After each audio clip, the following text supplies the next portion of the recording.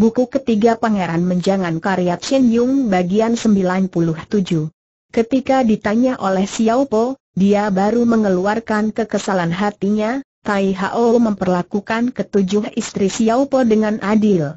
Dia tidak membeda-bedakan antara satu dengan lainnya, Walaupun Kian Leng Kong Chu adalah putrinya sendiri tapi nada bicaranya tidak menunjukkan kemesraan sebagaimana biasanya perlakuan seorang ibu terhadap anaknya.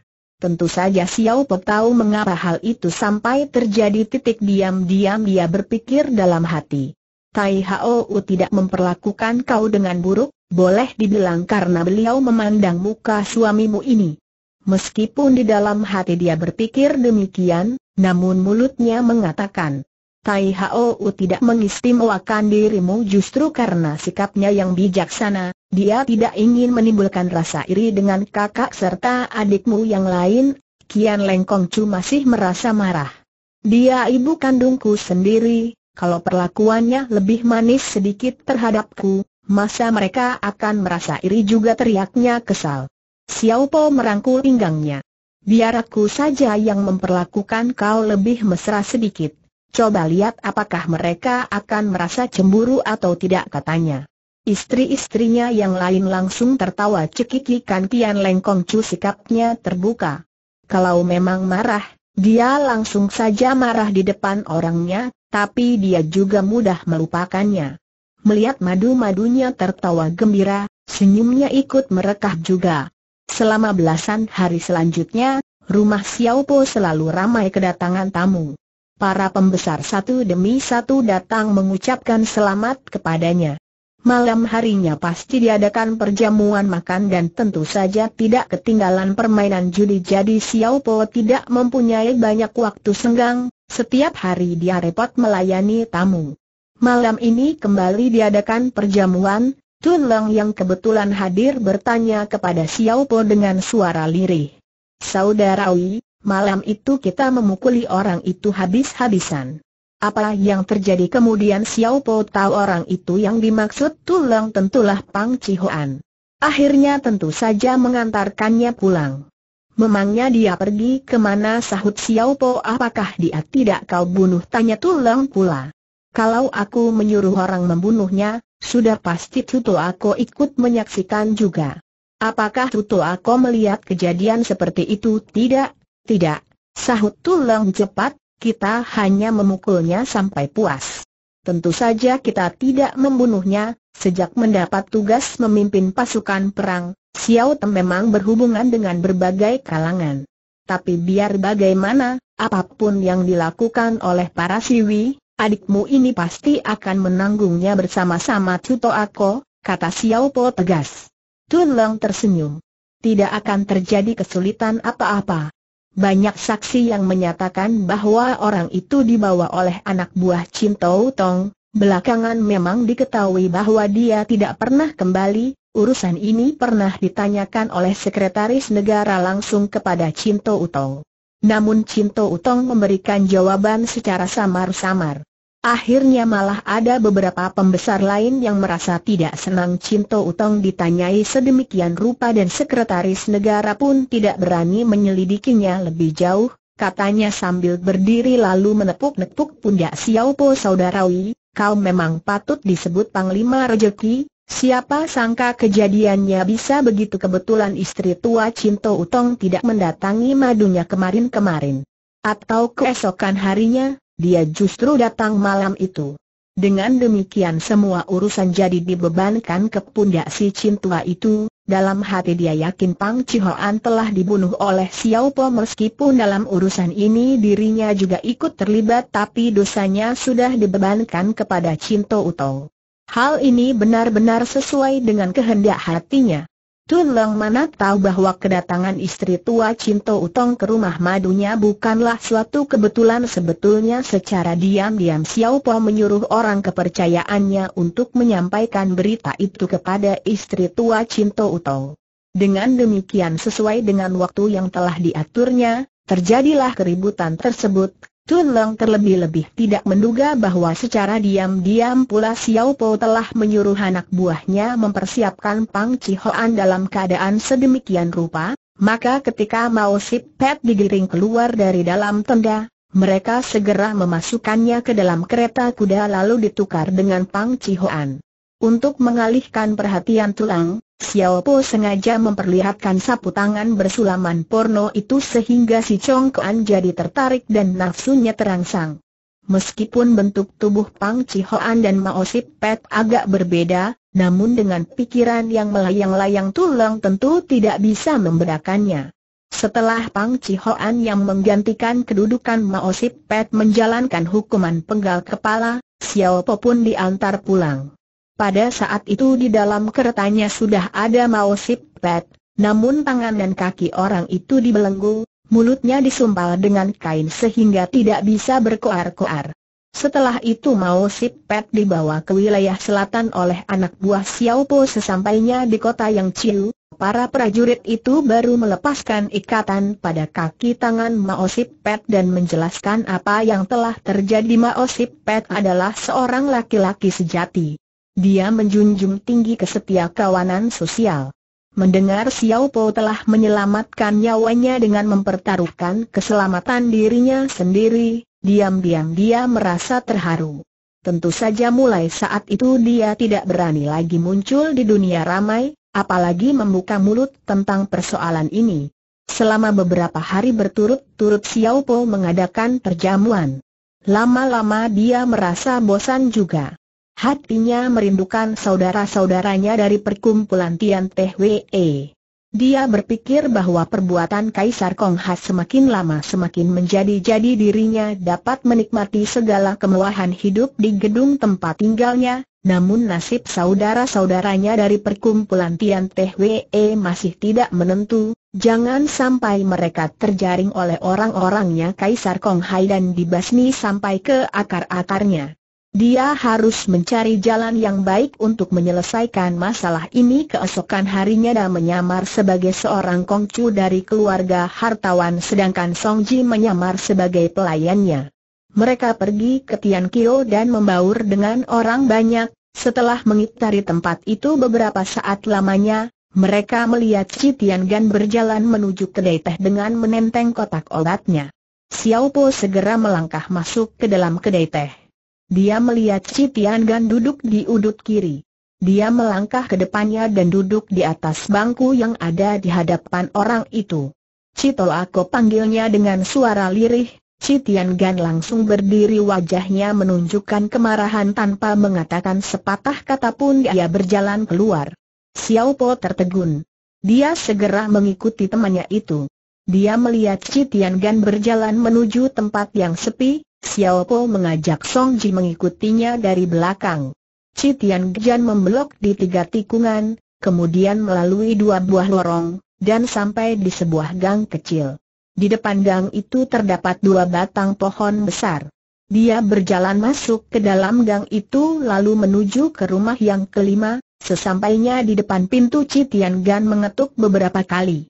Pintu dibuka, seorang anggota Tian Teh Wei lainnya keluar menyambut kedatangan Ci Tian Gan. Setelah melihat Xiao Po, wajah orang itu juga menunjukkan kemarahan Xiao Po segera menghampiri orang itu lalu menyapanya.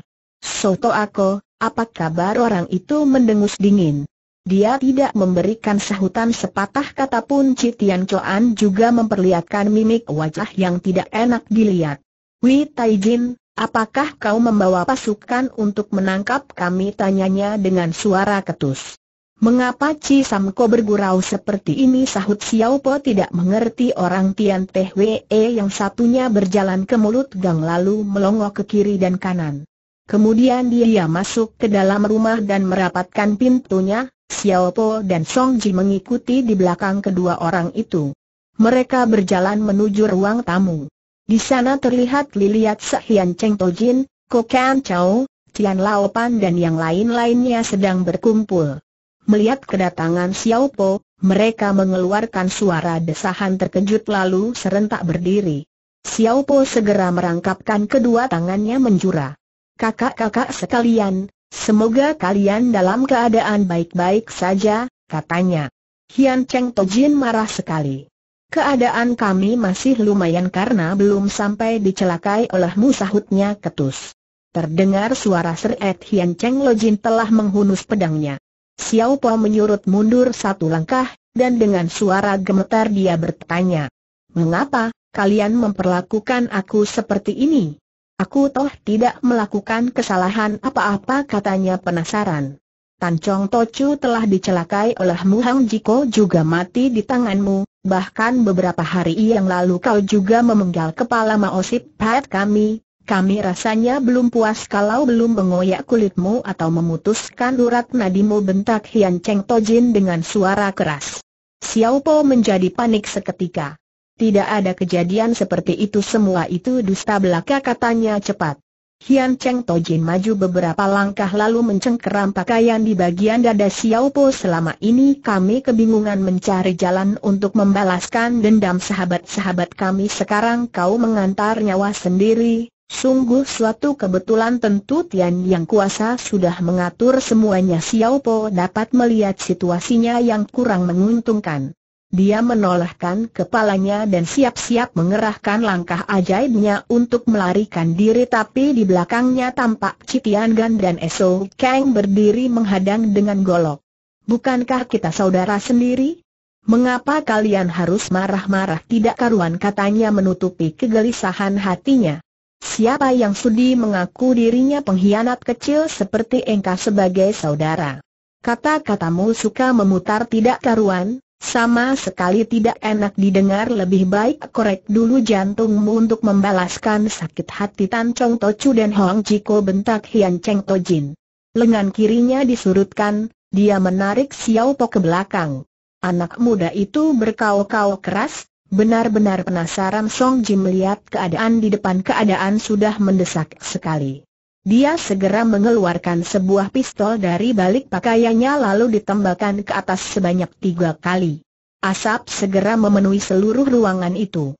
Dengan cekatan Song Ji merenggut punggung Xiao Po lalu diseretnya kuat-kuat.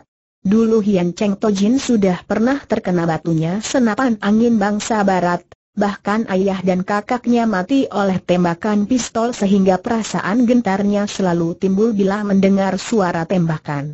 Hatinya syok sesaat dan kesempatan itu telah digunakan dengan baik oleh Song Ji untuk menolong Xiao Po. Song Ji menghambur ke sudut rumah lalu menghadang di depan Xiao Po untuk melindunginya.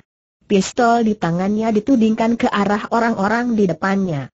Kalian benar-benar tidak mencari tahu dulu kebenarannya bentak wanita itu.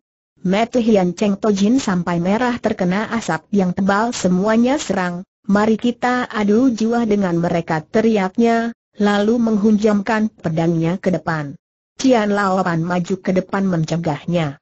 Tu Tiang, tunggu dulu katanya sembari menoleh kepada Song Ji lalu bertanya, apa yang kau katakan sebagai kebenaran baiklah, harap kalian dengarkan sahut Song Ji. Kemudian wanita itu menceritakan bagaimana Xiao Po menolong Tan Kin Lem menghindar dari musibah sehingga rumahnya diledakkan dan mereka melarikan diri ke pulau terpencil, bagaimana mereka diculik oleh Kau Chu dari Sin Leong Kau, bagaimana Tan Kin Lem sampai terbunuh di tangan The Kek Song dan Pang Chi Hoan berdua. Bagaimana liciknya Hang Chi Tiong yang menjadi match-match bagi kerajaan Cheng, sehingga hampir saja dirinya dan Xiao Po terperangkap dan bagaimana orang itu kemudian mati di tangan mereka, bagaimana Kaisar Kong Hai menggunakan sebala cara memerintahkan Xiao Po membasmi seluruh anggota perkumpulan Tian Teh Wee namun ditolak oleh anak muda itu, dan bagaimana Xiao Po menyelamatkan Mao Sip Pet dari hukuman penggal kepala dengan menempuh bahaya baru-baru ini. Song Ji bukan orang yang pandai bersilat lidah, maka kisah yang dikemukakannya tidak begitu enak didengar, namun anggota Tian Teh Wee sudah lama bergaul dengannya, mereka tahu wanita ini sangat polos dan tidak bisa berpura-pura. Apalagi dia bisa menceritakan semuanya dengan lancar, tidak sedikit pun terlihat dia merenung sebentar memikirkan apa yang harus dikatakannya, lagi pula mereka yakin Song Ji tidak pandai mengarang cerita seperti halnya Xiao Po. Tidak mungkin dalam waktu yang demikian singkat dia bisa mengarang sebuah cerita yang demikian sempurna, Sedangkan Xiao Po rela kehilangan pangkatnya demi menyelamatkan para anggota Tian Teh Wei sehingga rumahnya diledakkan atas perintah Kaisar Kong Hai, memang dialami sendiri oleh mereka. Dan bila mereka mengingat kembali tindakan-tindakan atau sikap Hang Chi Tiong semasa hidupnya, memang banyak celah yang mencurigakan. Mau tidak mau mereka menjadi percaya atas apa yang dikisahkan oleh Song Ji barusan. Kalau begitu, Kenapa, kenapa dalam firmannya? Raja. Tak Chu menyebutkan bahwa Wei Hio Chu lah yang membunuh Tan Chong Chu tanya Hian Cheng Tojin panggilannya terhadap Xiao Po sudah diubah menjadi Wei Hio Chu, hal ini membuktikan bahwa dia sudah hampir percaya sepenuhnya terhadap cerita Song Ji. Song Ji menggelengkan kepalanya.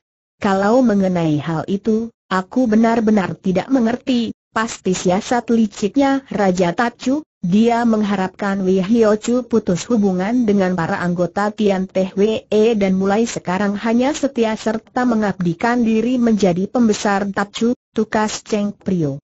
Apa yang dikatakan Chiu Heng memang benar, kata Chi Tian Gan sembari memasukkan golok ke dalam sarungnya. Kedua kakinya ditekuk dan dia menjatuhkan diri berlutut di hadapan Xiao Po kami sudah bersikap ceroboh tanpa memberi kesempatan kepada Wei Chu untuk menerangkan segalanya. Dosa kami sungguh besar sekali, harap Wei Chu menjatuhkan hukuman kepada kami, Orang-orang lainnya juga ikut berlutut memohon maaf kepada Xiao Po Hian Cheng Tojin malah tidak hentinya menampar pipinya sendiri sambil memaki kau memang patut mati kau memang patut mati Xiao Po dan Song Ji cepat-cepat ikut berlutut untuk membalas penghormatan mereka perasaan Xiao Po sudah agak tentram. Maka dia berkata, Saudara-saudara sekalian, harap kalian bangun. Pepatah mengatakan bahwa orang yang tidak tahu tidaklah berdosa. Mengapa kalian menyesalkan sedikit kesalahpahaman tadi para anggota Tian Teh Wei berdiri, sekali lagi mereka meminta maaf atas kecerobohan tadi, sekarang Xiao Po merasa bangga sekali. Dia segera menceritakan pengalamannya selama ini. Tentu saja caranya mengisahkan pengalaman itu jauh lebih menarik daripada Song Ji. Bahkan setiap mencapai bagian yang tegang, para anggota Tian Teh Wee sampai menahan nafas dan memandangnya dengan mata terbelalak namun pada akhirnya, seperti biasa mereka tahu Xiao Po lebih banyak membuat daripada mengisahkan yang sebenarnya. Mereka lebih percaya cerita yang dikisahkan Song Ji tadi tampak para anggota Tian Teh Wee berkerumun bersama-sama dan saling berbisik untuk beberapa saat lamanya. Lalu Liliat Sak berkata, Wih Chu, sungguh malang nasib Tan Chong Tochu yang dicelakai orang, perkumpulan Tian Teh Wee sekarang ibarat naga tanpa kepala, selama ini saudara-saudara kita dari sepuluh tong selalu merundingkan siapa yang pantas menjadi pengganti Teng Chong Tochu. Para saudara dari bagian Cheng Bok Tong ingin mengajukan Wei Hio Chu sebagai Chong Tochu, tapi kami khawatir saudara-saudara dari sembilan tong lainnya tidak setuju. Lagi pula mereka masih meragukan ketulusan hati Wei Chu, karena itu kami memohon Wei Chu melaksanakan sebuah tugas untuk mendirikan jasa bagi perkumpulan kita, Xiao Po berulang kali menggoyangkan tangannya. Biar bagaimana aku tidak bisa menjadi Chong Tochu, sahutnya, namun hatinya merasa penasaran tapi jasa apa yang harus kudirikan tanyanya pula dengan perasaan ingin tahu keonaran dalam negara memang sudah reda. Taiwan sudah berhasil diduduki bangsa Tatchu dan Wei Chu sudah berhasil memukul mundur serdadu Loset yang menguasai beberapa bagian dari negeri kita. Namun usaha besar kami untuk membangkitkan kembali kerajaan Beng rasanya semakin lama jadi semakin sulit, kata Liliat Sok pula. Xiao Po menarik nafas panjang. Memang betul, katanya sembari berpikir dalam hati, kalau sudah tahu susah ya biarkan saja keadaan seperti ini untuk apa meributkan masalah membangkitkan kerajaan Beng? Meskipun usia Raja Tatsu masih sangat muda tapi otaknya cerdas sekali, dia pandai mengambil hati bangsa Loset pula. Rakyat di dunia ini sudah mulai melupakan dinasti yang dulu. Kalau hal ini dibiarkan terus, bisa-bisa seluruh dunia ini dikuasai Raja Tatsu, kata Liliat. Sekali lagi Xiao Po menarik nafas panjang, memang betul, sahutnya dan dalam, hati kembali dia berpikir, kalau Xiao Hian Chu bisa menguasai seluruh dunia, toh bukan urusan yang buruk pula. Wi Hio Chu sangat dipercaya oleh Kaisar Tatchu, kami ingin Wi Hio Chu menyusun sebuah rencana agar kami dapat menyusup ke dalam istana untuk membunuh Raja Tatchu itu kata Liliat Sok pula. Xiao Po terkejut setengah mati. Ini, tidak bisa dilaksanakan, Sahutnya dengan suara bergetar mohon tanya kepada Hiochu, kesulitan apa yang menjadi pikiran Li Hiochu tanya Eso Kang. Di dalam istana terdapat banyak penjaganya, masih ada lagi pasukan barisan depan, pasukan pengawal raja, pasukan prajurit perang dan lain-lain sebagainya oh, pokoknya gawat deh baru bagian siwi saja sudah terdapat berbagai bagian misalnya bagian penjaga di Kamceng Tong, bagian penjaga pintu gerbang istana, dan bagian penjaga Sam Kisiwi, bendera tiga warna. Tempo hari Kui Heng Sulo Yacu yang ilmunya demikian tinggi saja mengalami kegagalan sampai menemui ajalnya dalam istana, apalagi aku? Bila kalian ingin membunuh raja secara gelap, aku bisa mengatakan bahwa ini merupakan kesulitan yang tersulit, Sahut Xiao Po para anggota Tian Teh Wei langsung merasa kurang senang mendengar penolakannya, apalagi dari nada suaranya seakan Hio Chu mereka ini sangat membanggakan penjagaan yang ketat dalam istana. Hati mereka semakin kesal, bahkan beberapa di antaranya menjadi marah kembali. Esou Kang mengedarkan pandangannya ke para anggota Tian Teh Wei yang lain, kemudian berkata, Wi Hio Chu, Ingin membunuh seorang raja memang bukan hal yang mudah. Meskipun kau sendiri yang menyusun seluruh rencananya, kami juga tidak yakin akan berhasil namun asal kami bisa menyusup ke dalam istana, biarpun kami tidak mengharapkan dapat keluar dalam hidup, namun kami akan menjaga baik-baik keselamatanmu jumlah anggota Tian Wee memang mencapai laksaan orang, namun tidak ada satu pun yang dapat menandingimu. Tian Wee bersumpah tidak akan hidup bersama-sama bangsa Takcu beban berat membangkitkan dinasti Beng terpaksa kami serahkan ke pundak Wi Hiochu, Xiao Po menggelengkan kepalanya bagaimanapun aku tidak bisa melaksanakan tugas ini. Sri Baginda meminta agar aku membasmi Tian Teh Wee, namun aku tidak melakukannya karena perasaan setia kawan, sekarang kalian meminta agar aku menyusun rencana untuk membunuh Sri Baginda, aku juga tidak dapat melakukannya karena merasa harus setia kawan terhadap beliau, sahutnya. Hian Cheng Tojin menjadi marah. Mengapa harus merasa setia kawan terhadap Raja Tatsu? Bukankah sama artinya dengan penghia, kalimat yang terakhir tidak diselesaikannya? Dia memaksakan diri untuk menahan emosi ini merupakan urusan yang besar sekali. Kami mengerti kalau Wi Hiochu tidak dapat mengambil keputusan dengan segera, sebaiknya Wi Hiochu mempertimbangkannya. Kembali setelah mengambil keputusan, Wi Hiochu bisa datang ke sini memberikan jawabannya, kata Esou Kang. Baik, baik. Aku akan mempertimbangkannya, Sahut Xiao Po cepat Citian Gan dapat melihat niat Xiao Po yang kurang tulus, maka dia berkata semoga Wei Hio Chu tidak melupakan cita-cita Tan Chong Tochu semasa hidupnya. Jangan melupakan negara kita yang sudah diduduki bangsa asing sehingga mengalami berbagai bencana, pokoknya bangsa Han kami tidak boleh menjadi budak bangsa Tachu, Xiao Po menganggukkan kepalanya berkali-kali. Ya, ya, memang tidak boleh dilupakan. Para anggota Tian Teh Wee mendengar Xiao Po hanya memberikan jawaban secara samar-samar akhirnya mereka merasa lebih baik diam. Xiao Po mengedarkan pandangannya ke sana kemari mengapa kakak-kakak sekalian tidak bicara lagi ujarnya sambil tertawa. Tidak ada seorang pun yang memberikan jawaban Xiao Po merasa jenuh. Dia tidak betah duduk lama-lama di tempat itu seakan di atas kursinya terdapat puluhan jarum yang menusuk pantatnya sebaiknya kita berpisah dulu sekarang, nanti sekembalinya ke rumah aku akan mempertimbangkan penawaran kalian tadi, setelah itu aku akan kembali untuk merundingkannya dengan kakak-kakak sekalian, katanya. Dia segera berdiri para anggota Tian Teh Wee mengantarnya sampai depan pintu. Dengan hormat mereka mengucapkan selamat jalan, Xiao Po sudah sampai di rumahnya. Dia duduk di ruang tamu sampai merasa bosan.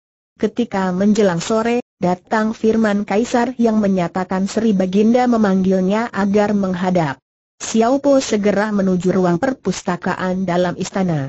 Pang Chihoan menghilang secara tiba-tiba, sebetulnya apa yang terjadi tanya Kaisar Kong Hai. Xiao Po terkejut setengah mati.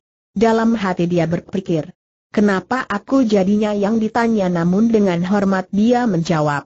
Harap Sri Baginda ketahui, malam ketika Pang Chihoan menghilang, hamba sedang minum arak bersama Chu Chong Kuan dan para siwi lainnya. Kemudian baru hamba dengar bahwa malam itu Pang Chihoan telah dibawa oleh anak buah Chin Tou Tong, entah bagaimana tahu-tahu jejak orang itu jadi hilang.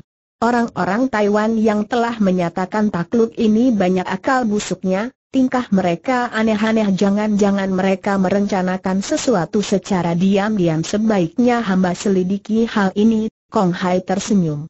Baiklah, urusan menghilangnya Pang Chihoan ini ku serahkan kepadamu untuk menyelidikinya. Aku sudah memberikan janjiku kepada orang-orang Taiwan itu bahwa aku akan melindungi keselamatan mereka, sekarang orang ini tiba-tiba menghilang. Bila aku tidak memberikan penjelasan apa-apa, lain kali ucapanku tidak akan dipercaya lagi oleh orang-orang di seluruh dunia ini katanya.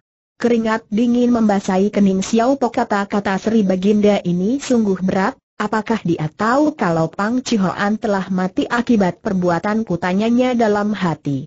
Terpaksa dia menjawab. Baik pagi ini kau pergi ke Ginko Hotong, apakah kau merasa senang tanya Kaisar Kong Hai pula. Xiao Po tertegun. Ginko Hotong untuk sesaat dia menjadi bingung.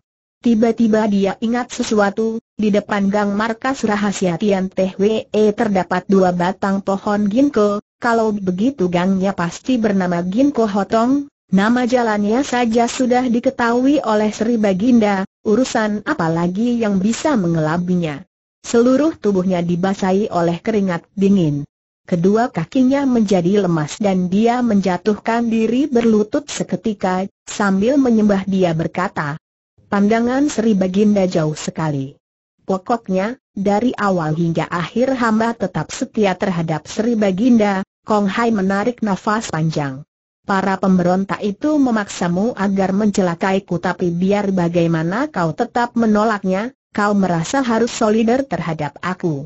Tapi, tapi Xiao Kuichu, apakah untuk selamanya kau harus menginjakan kaki di atas dua perahu tanyanya pula. Xiao Po masih terus menyembah harap Sri Baginda ketahui, pokoknya hamba tidak akan menjadi ceng tocu mereka, untuk hal ini harap Sri Baginda berlega hati sahutnya. Sekali lagi Kong Hai menarik nafas panjang, kepalanya mendungak ke atas, tampak dia merenung beberapa saat kemudian baru berkata, Aku telah menjadi kaisar negeri Tiongkok ini walaupun tidak dapat dikatakan sebagai Niao Seng Hai Tongnya, tapi aku mencintai rakyat aku berusaha keras untuk mensejahterakan kehidupan mereka, di antara raja-raja dari dinasti Beng, mana ada yang dapat menandingiku sekarang penjahat Gosem Kui sudah terbasmi, Taiwan sudah berhasil kita kuasai. Bangsa Loset tidak berani lagi bertindak semena-mena terhadap kita. Rakyat dapat hidup dengan tentram. Namun Tian Teh Wee tetap ingin membangkitkan dinasti Beng, Apakah di bawah pemerintahan Kaisar Sicu itu, rakyat hidup lebih baik daripada kehidupan mereka sekarang mana aku tahu kata Xiao Po dalam hati. Lalu terdengar dia menjawab. Hamba pernah mendengar nyanyian yang isinya begini, sejak adanya Kaisar Chu, dalam sepuluh tahun, sembilan tahunnya selalu penuh dengan penderitaan keluarga petani terpaksa menjual sawah ladangnya, keluarga biasa malah menjual anaknya. Kalau diperhatikan makna yang terkandung di dalamnya, seharusnya kita sudah mengerti sekarang ini hujan badai telah berlalu, negara dan rakyat damai sentosa, Sri Baginda Niao Seng Hai Tong, Kaisar Chu masih ketinggalan 180 ribu li dengan Sri Baginda, meskipun dia menunggang kuda pilihan, tetap saja dia tidak sanggup menyandak Sri Baginda, Kaisar Kong Hai tersenyum bangunlah perintahnya. Xiao Po segera berdiri tampak Kaisar Kong Hai melipatkan tangannya ke belakang serta berjalan mondar-mandir dalam ruangan itu. Terdengar pula ia berkata, Ayah anda memang orang Boan Chiu, tapi ibu kandungku justru keturunan tentara Han. Dengan demikian di dalam tubuhku mengalir setengah darah Han. Aku memperlakukan rakyatku sama rata dan tidak pernah menyiksa bangsa Han. Mengapa mereka begitu membenciku sehingga selalu mencari jalan agar dapat membunuhku para pemberontak itu tidak tahu aturan, mereka selalu ceroboh dalam mengambil tindakan Sri Baginda tidak perlu membuat otak capek memikirkannya, sahut Xiao Pokong Hai menggelengkan kepalanya, wajahnya muram dan pandangan matanya kosong seperti orang yang sangat kesepian, lewat sejenak dia berkata pula. Bangsa Boan Chiu ada yang jahat dan ada pula yang baik, begitu pula bangsa Han, orang jahat di dunia ini kelewat banyak tidak mungkin habis dibunuh di basmi satu lahir lagi sepuluh. Tapi untuk menyadarkan pikiran mereka, aku tidak mempunyai kesanggupan setinggi itu.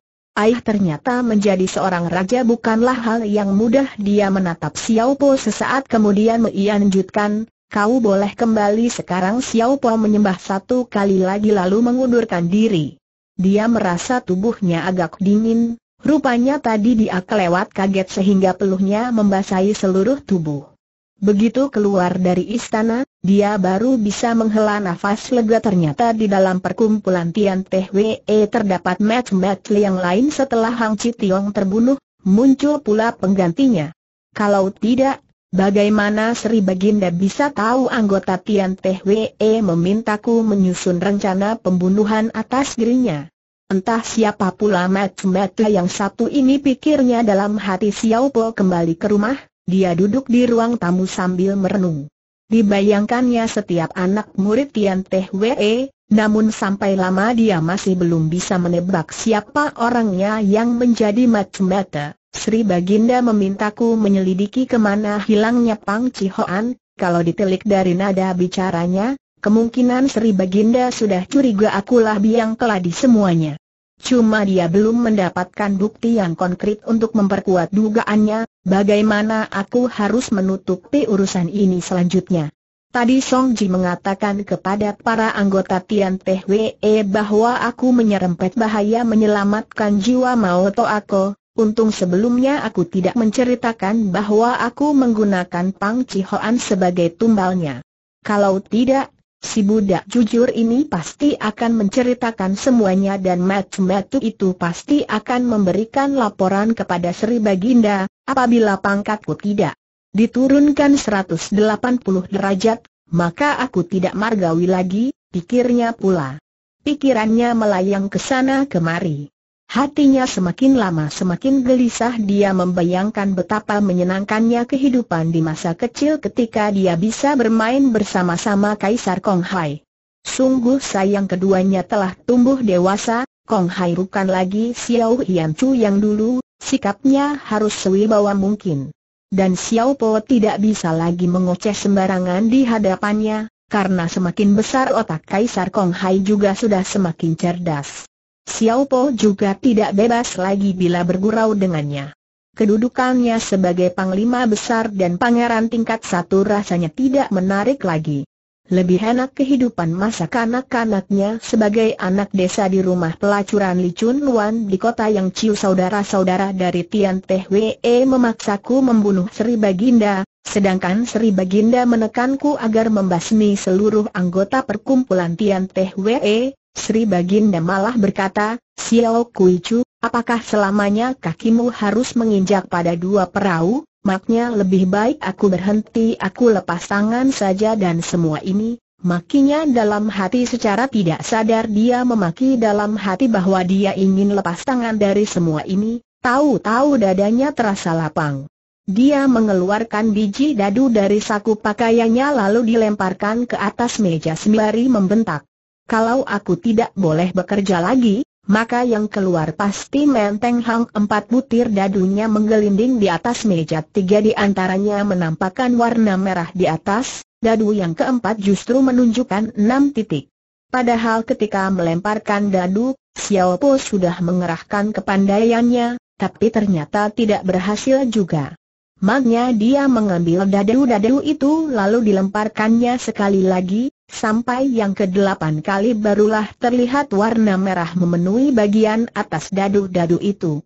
Terdengar Xiao Po menggumam seorang diri rupanya aku melaksanakan tujuh tugas lagi dari Kaisar Kong Hai baru bisa pensiun tapi dia berpikir pula tujuh tugas itu telah kulaksanakan semuanya, yang pertama adalah membunuh Gopei kedua menolong Lo Hong Ya, ketiga, melindungi Raja Tua di Gunung Hageot Taisan keempat menolong Tai Hao. Kelima, mengajak Tibet dan Mongol bekerja sama dengan Sri Baginda, keenam, menghancurkan Partai Sin Leong Kau, ketujuh, menangkap Go Eng Hem, kedelapan, memerintahkan Tio Yong dan Tio Liang Teung membasmi Go Sam Kui. Kesembilan merebut kota Yakelang, terlalu banyak, terlalu banyak urusan yang kecil tidak masuk hitungan, urusan yang besar pas tujuh buah. Tidak lebih tidak kurang, untuk sementara dia juga malas mengulangi kembali apa tujuh tugas besar yang telah dilaksanakannya, tiba-tiba dia berteriak locu pensiun. Tapi, kalau aku tidak menjadi pembesar dan tidak juga melakukan pemberontakan apa pula yang harus locu lakukan pikirnya bolak-balik, maju mundur. Akhirnya dia mengambil keputusan bahwa paling menyenangkan kalau dia pulang saja ke kota yang ciu.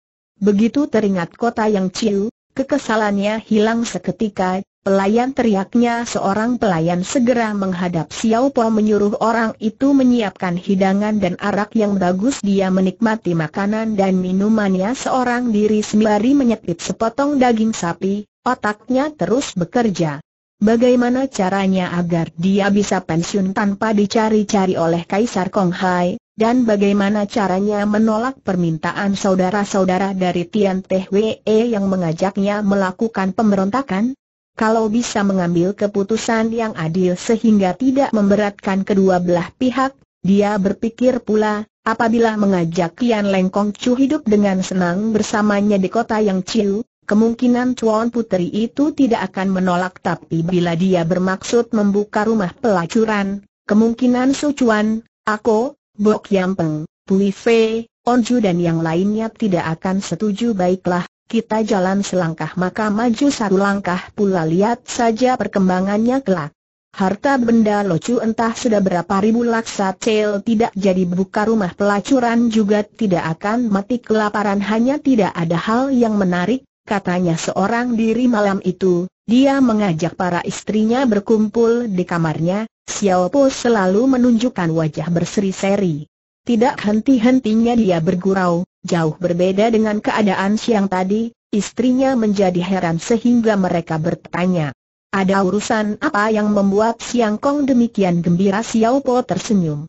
Rahasia langit tidak boleh dibocorkan sahutnya santai apakah Hong Tekoko kembali menaikkan pangkatmu tanya Tian Leng Kong Chu. Atau menang judi tanya Chin Chu. Urusan Tian Teh Wee sudah berhasil diselesaikan tanya Song Ji. Aih budak ini pasti jatuh hati lagi pada gadis cantik entah dengan keluarga mana, dan ingin mengambilnya sebagai istri kedelapan tebak aku Xiao Po hanya menggelengkan kepala sebagai jawaban bahwa terkaan mereka semua salah para istrinya semakin penasaran, lalu mendesaknya agar mendesaknya hal apa yang membuatnya begitu gembira. Sebetulnya aku tidak ingin mengatakannya, tapi kalian terlalu memaksa. Baiklah, aku akan menceritakannya kepada kalian, para istrinya segera berdiam diri untuk mendengarkan. Aku telah menjabat pangkat sebagai seorang panglima besar, di samping itu aku juga dianugerahi pangkat pangeran tingkat satu. Namun aku buta huruf, rasanya memalukan saja. Mulai besok aku akan melepas jabatanku lalu belajar dengan sungguh-sungguh agar dapat mengikuti ujian negara, kata Xiao Popula. Ketujuh istrinya saling memandang sejenak, kemudian mereka tertawa terbahak-bahak.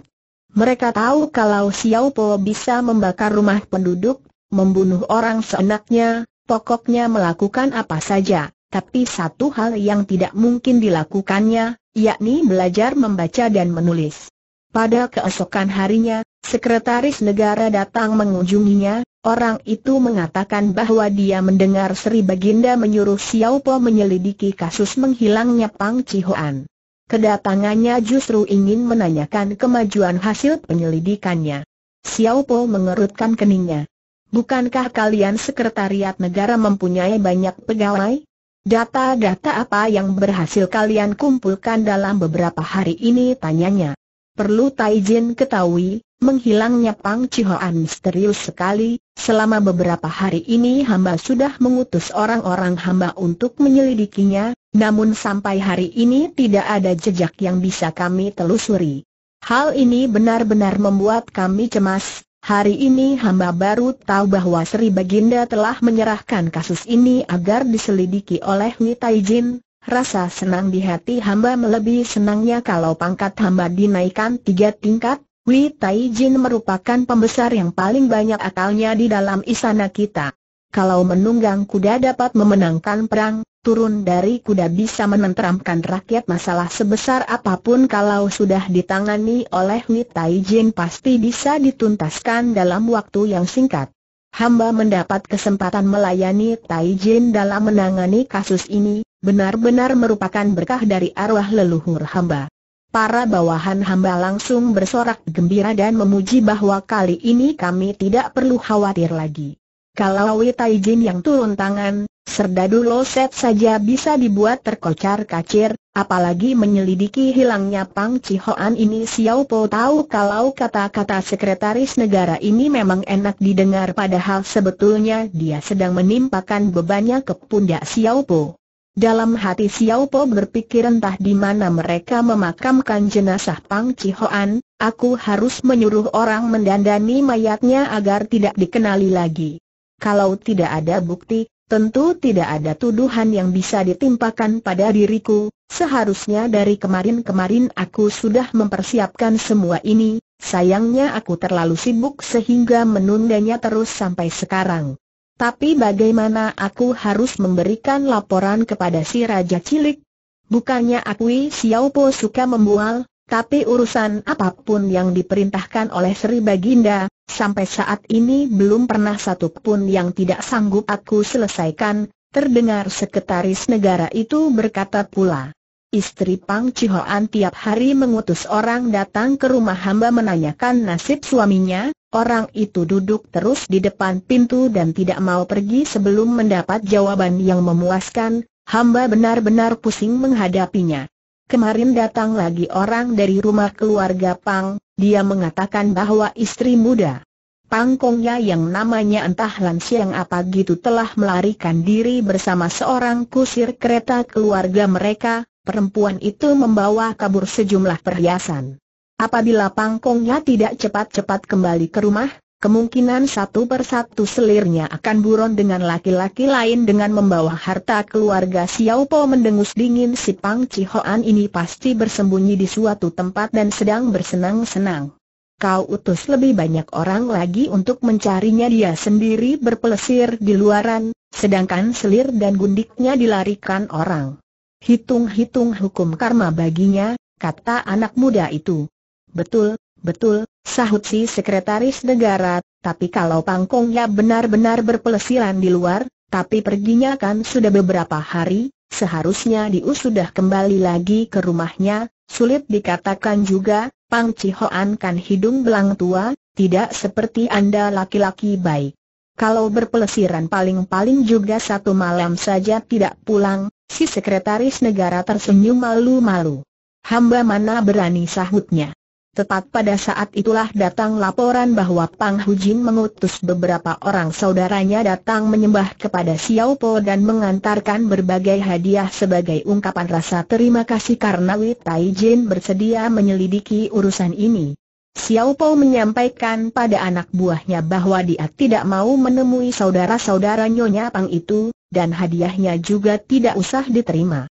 Tidak lama kemudian anak buahnya kembali lagi dengan laporan, Saudara-saudara Nyonya Pang itu benar-benar kurang ajar. Ketika meninggalkan halaman rumah Witai Jan ini, mereka tidak hentinya tertawa dingin mereka mengatakan entah setan apa yang penasaran dan mengungkit soal pembalasan dendam. Di samping itu seorang di antaranya mengatakan bahwa urusan ini telah diketahui oleh Sri Baginda, suatu hari nanti pasti akan terungkap. sebaiknya orang lain jangan ikut campur agar tidak terlibat masalah yang serius ini, lapor Hui Taijin, orang-orang itu berani memaki serta mengoceh yang tidak-tidak di depan rumah Hui Taijin, hampir saja hamba tidak dapat menahan diri untuk menggaplok mulutnya, ketika menukar pesakitan di lapangan pengadilan tempo hari, anak buahnya yang satu ini juga ikut turun tangan. Melihat datangnya orang dari keluarga Pang, setidaknya dia sudah bisa menebak apa yang terjadi. Hatinya ikut gelisah juga memikirkan akibatnya. Xiao Po yang berbuat tentu lebih gelisah lagi wajahnya agak berubah mendengar laparan anak buahnya. Dia berpikir dalam hati kalau dibiarkan terus urusan ini pasti akan terbongkar maknya Pang Cihoannya sendiri sudah kubunuh, Memangnya aku takut terhadap istri sesosok arwah gentayangan. Tiba-tiba sebuah ingatan yang bagus melintas dalam benaknya. Wajah anak muda itu menjadi berseri-seri seketika. Harap Chuan jangan pergi dulu. Chuan tunggu sebentar di sini katanya sembari masuk ke dalam rumah. Dia memerintahkan dua orang komandannya untuk menghadap, Lalu dia membisikkan beberapa patah kata di telinga mereka dan meminta mereka melaksanakan tugas yang diberikan. Xiao Po kembali ke ruang tamu dan berkata, apa yang diperintahkan oleh majikan kita, sebagai hamba kita tentu harus melaksanakan dengan sebaik-baiknya. Hal ini kita lakukan demi membalas budi Sri Baginda, sebaiknya sekarang juga kita datangi keluarga Pang untuk mencari sedikit keterangan, Sekretaris Noara itu tertegun pangkong ya menghilang selama beberapa hari, mengapa harus mencari keterangan di rumahnya, pikirnya tidak mengerti tapi di luarnya dia terpaksa mengiyakan. Kasus ini benar-benar pelik. Kita ajukan pertanyaan kepada setiap anggota keluarga Pang, siapa tahu kita bisa mendapatkan sedikit jejak yang bisa kita telusuri kata Xiao Popula. Betul, betul. Pendapat Li Taijin pasti benar. Hamba sungguh bodoh, tidak sanggup menandingi kecerdasan Wi Taijin, sahut orang itu. Sebetulnya bukan karena si sekretaris negara ini kurang cerdas otaknya, tapi pangkatnya tidak seberapa tinggi, jauh dibandingkan dengan Xiao Po mana mungkin dia berani mengajak anak buahnya datang ke rumah Pang Chihoan untuk menginterogasi anggota keluarganya, lagi pula tidak ada orang yang mau melibatkan diri dalam masalah ini. Mereka tahu Pang Chihoan adalah musuh bebuyutan Xiao Po menghilangnya orang bermarga Pang ini hampir 100% ada hubungannya dengan Xiao Po sedangkan Xiao Po terkenal sebagai pembesar yang paling disayang raja, maka tidak ada orang yang mau mencari penyakit. Dalam menangani kasus ini, siapa pun tidak ada yang serius. Mereka hanya bisa mengulur-ulur waktu sampai akhirnya kasus ini dianggap sebagai kasus yang tidak terungkapkan. Sekretaris negara itu berpikir Pulau Taijin sudah mencelakai Pang Chihoan, sekarang gak akan datang pula ke rumah orang itu untuk mempersulit istrinya. Sinyonya tua itu juga tidak tahu diri, pakai suruh orang datang kemari mencaci maki, makanya Wi Taijin jadi marah, Xiao Po mengajak sekretaris negara berangkat bersamanya dengan kereta besar. Begitu sampai di depan rumah Pang Chihoan tampak ratusan prajuritnya telah mengepung sekitar rumah itu seorang anak buahnya datang memberikan laporan. Harap Taijin ketahui, seluruh anggota keluarga Pang Kong Ya yang berjumlah 79 orang telah menunggu kedatangan Wi Taijin di ruangan sebelah barat, Xiao Po menganggukkan kepalanya. Lapor Taijin, ruangan untuk rapat ada di sebelah timur kata salah seorang komandannya. Xiao Po menuju ruangan sebelah timur tampak meja kursi di dalam ruangan itu telah ditata sesuai perintahnya. Dia duduk di atas sebuah kursi yang ada di belakang meja paling depan. Keadaannya seperti sebuah ruangan pengadilan. Xiao Po menyuruh si sekretaris negara duduk di sisinya, salah seorang anak buahnya segera membawa masuk seorang perempuan yang masih muda. Tampangnya lumayan. Dengan berlenggang lenggok perempuan itu memasuki ruangan lalu berlutut di depan Xiao Po, anak muda itu menarik usianya sekitar 23 atau 24 tahun. Siapa kau tanya si anak muda? Hamba adalah selir kelima dari pangkongnya, sahut perempuan itu. Bangunlah dan silahkan duduk. Aku tidak berani menerima penghormatanmu yang demikian tinggi, kata Xiao Po perempuan itu merasa ragu-ragu untuk sekian saat dia tidak berani berdiri. Xiao Po berdiri dari tempat duduknya, sambil tersenyum dia berkata, Sebaiknya kau berdiri saja, kalau tidak aku yang akan berlutut di hadapanmu perempuan itu tersenyum malu-malu, kemudian baru berdiri Xiao Po baru duduk kembali di kursinya, Sikap Wei Taijin terhadap keluarga Pang ini tidak garang sama sekali, hanya gayanya yang genit mengurangi kewibawaannya. Pikir si sekretaris negara, siapa namamu tanya Xiao Popula. Hamba bernama Kiok Fang, harumnya bunga krisan, sahut perempuan itu Xiao Po mengendus dengan hidungnya dalam-dalam, sambil tertawa dia berkata, Nama yang bagus tidak heran ketika kau masuk tadi seluruh ruangan ini langsung penuh dengan harumnya bunga krisan, Kiok Fang tertawa. Wei Taijin hanya menggoda saja, sahutnya dengan gaya kenes. Xiao Po memiringkan kepalanya untuk memperhatikan perempuan itu sekejap, lalu bertanya lagi. Dengar-dengar ada seorang madumu yang melarikan diri memang betul. Namanya Lan Xiang, hektometer, perempuan rendah itu benar-benar tidak tahu malu sahut Kiok Fang. Suaminya tiba-tiba menghilang, dia mencari penggantinya, hektometer, ini tidak dapat dikatakan, apa ya tanya Xiao Po menoleh kepada si sekretaris negara. Tidak dapat dikatakan sebuah dosa, sahut sekretaris negara itu. Xiao Po tertawa betul bukan dosa, bukan dosa. Eh, Kiok Fang Cici, Kenapa kau sendiri tidak ikut kabur mendengar kata-katanya? Kening si sekretaris negara langsung mengerut. Bocah ini semakin lama semakin ngelantur. Masa di ruang interogasi menyebut saksi dengan panggilan cici segala pikirnya, Kiok Fang tidak menyahut, dia melirik Xiao Po dengan kerlingan penuh arti Xiao Po senang sekali, sampai sekarang rayuannya selalu mendapatkan tanggapan dari perempuan mana pun sikap hidung belangnya timbul seketika.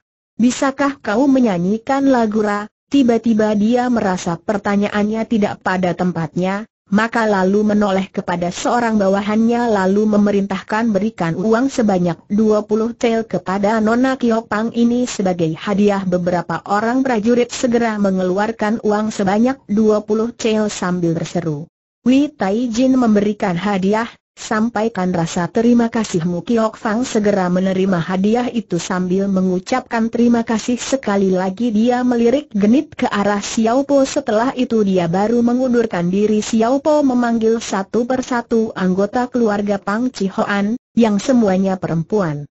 Kalau dia mengajukan pertanyaan kepada wanita yang muda, dia selalu memberikan uang sebagai hadiah. Tapi kalau giliran perempuan tua, mereka malah mendapat makian Xiao Po yang mengatakan bahwa mereka tidak baik-baik melayani Pangkong Ya sehingga laki-laki itu merasa bosan dan sekarang berpelesiran di luaran serta tidak mempunyai maksud untuk pulang lagi, dan sebagainya. Kurang lebih satu kentungan lamanya Xiao Po mengajukan pertanyaan kepada para anggota keluarga Pang. Kemudian seorang komandan dipanggil menghadap Xiao Po kembali mengoceh secara samar-samar sehingga si sekretaris negara sendiri tidak mendengar jelas apa yang dikatakannya.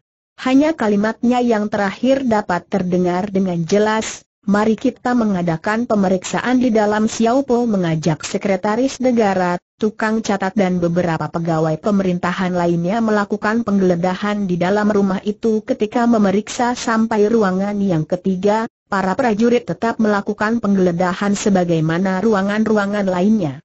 Tiba-tiba terdengar seorang prajurit mendesah terkejut. Dari dasar sebuah peti dia mengeluarkan sebuah golok yang penuh dengan bercak darah yang sudah mulai mengering. Lapor Taijin, hamba menemukan sebatang senjata tajam katanya. Xiao Po menganggukkan kepalanya, periksa lagi perintahnya lalu menoleh kepada si sekretaris negara, saudara, Coba kau periksa apakah noda darah yang ada di golok itu si sekretaris negara mengambil golok dari tangan prajurit tersebut Dia mendekatkan golok itu ke lubang hidungnya lalu mengendus beberapa kali. Rasanya dia mencium bau amis darah, maka dia menjawab. Rasanya memang noda darah manusia, di atas golok itu ada lubang kecilnya, mengapa aku tidak pernah melihat golok semacam itu? Tahukah kau golok untuk apa itu? Tanyanya pula golok semacam ini biasanya disebut arit, untuk membabat rumput dan biasanya digunakan dalam istal kuda, sahut si sekretaris negara, oh, begitu rupanya Komandan Xiaopo memerintahkan anak buahnya mengambil segenteng air lalu disiramkan di atas tanah untuk apa itu? Tanya Xiaopo Taijin, Tanah yang pernah digali pasti akan menjadi gembur kalau disiram, dan air akan menyerap dengan cepat. Baru saja prajurit itu menyelesaikan keterangannya, tiba-tiba dari kolong tempat tidur terdengar suara blep-blep seperti suara bergelembung masuk ke dalam tanah. Para prajurit yang sedang melakukan pemeriksaan langsung bersorak keras-keras. Mereka mengambil cangkul lalu mulai menggali tanah di bawah tempat tidur itu sedangkan beberapa di antaranya langsung memindahkan tempat tidur tersebut tidak berapa lama menggali, mereka berhasil mengeluarkan sesosok mayat dari dalamnya. Mayat itu tidak berkepala, tubuhnya juga sudah hampir hancur dan berbau busuk. Tampaknya sudah mati selama beberapa hari, pakaian yang dikenakannya memang jubah kebesaran Pak Chiang Kong, tanpa sadar sekretaris negara menjerit begitu menyaksikannya. Itu, itu kan pangkongnya benar-benar Pang Cihoan? Bagaimana kau bisa mengenalinya? Tanya Xiao Poya. Betul kita harus menemukan kepalanya terlebih dahulu baru bisa meyakinkan hal ini, sahut sekretaris negara yang kemudian bertanya kepada seorang pegawainya, siapa yang menempat di rumah ini hamba akan menanyakannya sekarang juga, sahut pegawainya sambil melangkah keluar menuju ruangan sebelah barat, tempat para anggota keluarga Pang sedang menunggu. Rupanya ruangan itu ditempati oleh selir kelima Pang Cihoan yakni Lan Siang yang telah melarikan diri dengan laki-laki lain. Pegawai tadi segera kembali dan memberikan laporannya. Wei Taijin, Chuan Sekretaris, Senjata pembunuh itu ternyata sebilah arit yang biasa digunakan untuk membabat rumput sekarang hamba akan menyelidiki sekitar istal, karena menurut kabar yang hamba terima selir kelima pangkongnya melarikan diri bersama kusir keretanya, beramai-ramai mereka menuju istal para prajurit sekali lagi melakukan pemeriksaan di tempat itu. Tidak lama kemudian, dari balik rerumputan mereka berhasil menggali sebuah kepala manusia, Xiao Po meminta sekretaris negara untuk mengenali batok kepala itu. Ternyata memang Pang Chihoan adanya. Dengan demikian sudah dapat dipastikan bahwa Pang Chihoan telah dicelakai seseorang lalu jenazahnya dikuburkan dengan kepala dan tubuh terpisah. Pada saat itulah para anggota keluarga Pang yang tadinya disuruh berkumpul di ruangan sebelah barat dilepaskan suara tangisan pun bergema di seluruh rumah. Mereka memaki-maki Kiusi, si kusir kereta, dan Lan Xiang yang telah sampai hati mencelakai majikan mereka sendiri. Berita itu dengan segera tersiar keluar. Tidak sampai setengah hari kemudian, hampir seluruh penduduk kota Peking sudah mengetahui kejadian ini. Sekretaris negara merasa malu, juga berterima kasih sekali terhadap Xiao Po. Dalam hati dia membayangkan kalau bukan Wei Taijin yang menangani kasus ini, kemungkinan masa depannya akan terancam karena sampai botak pun dia tidak mungkin berhasil mengungkapkannya. Tidak henti-hentinya dia mengucapkan terima kasih kepada Xiao Po sepanjang perjalanan dia sibuk membuat laporan untuk diserahkan kepada Raja juga menulis catatan untuk dokumennya sendiri. Di samping itu dia juga menyiarkan berita mencari kedua penjahat Kiusi dan Lansiang yang telah melakukan dosa besar membunuh seorang pembesar kerajaan. Hanya pegawainya yang merasa agak curiga, dia melihat bekas tebasan di leher mayat Pang Cihoan rapi sekali, seakan-akan batok kepalanya ditebas dengan golok besar yang tajam, bukan digorok dengan arit pemotong rumput.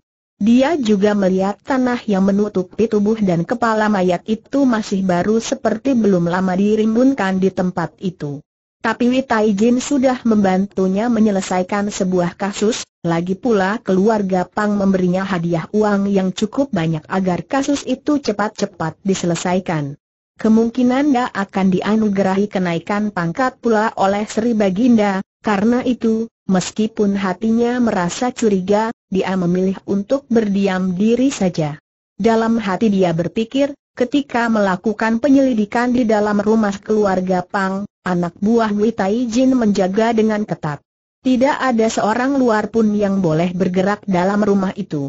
Bila mereka ingin menguburkan sesosok mayat saja, tentu bukan masalah, jangankan hanya satu, sepuluh atau dua puluh mayat pun dapat dikuburkan mereka dengan cepat. Xiao Po membawa laporan terperinci dari Sekretaris Negara menghadap Kaisar Kong Hai. Dia juga melaporkan bagaimana mereka berhasil mengungkapkan kasus ini. Kaisar Kong Hai tersenyum. Xiao Po, ilmumu memecahkan misteri memang hebat sekali, banyak orang yang mengatakan bahwa Pao Liong Tu hidup kembali, katanya. Semua ini berkat rezeki besar Sri Baginda juga, sahut Xiao Po. Kaisar Kong Hai mendengus dingin. Main sulap memindahkan mayat seperti itu apa hubungannya dengan rezekiku yang besar sindirnya. Xiao Po terkejut setengah mati. Dalam hati dia berkata, bagaimana dia bisa tahu, sesaat kemudian dia langsung mengerti, hektometer, di dalam pasukanku pasti ada pula mata-matanya, Xiao Po kebingungan. Dia tidak tahu apa yang harus dikatakannya. Tiba-tiba terdengar Kong Hai menarik nafas panjang. Penyelesaian yang demikian memang ada bagusnya juga, Pokoknya orang luar tidak banyak tanya lagi dan aku sendiri juga tidak ketiban pulung, cuma tindakanmu yang makin lama makin ceroboh itu, aku benar-benar tidak tahu harus berbuat apa lagi, katanya. Hati Xiao Po menjadi lega. Dia tahu kali ini kembali Kaisar Kong Hai mengampuni kesalahannya. Karena itu dia segera berlutut dan menyembah berkali-kali. Sekarang ini dunia sudah aman. Mungkin sampai waktu lama baru terjadi perang lagi. Rasanya panglima besar sepertimu tidak diperlukan lagi, sebaiknya kau copot saja jabatanmu itu, kata Kaisar Kong Hai.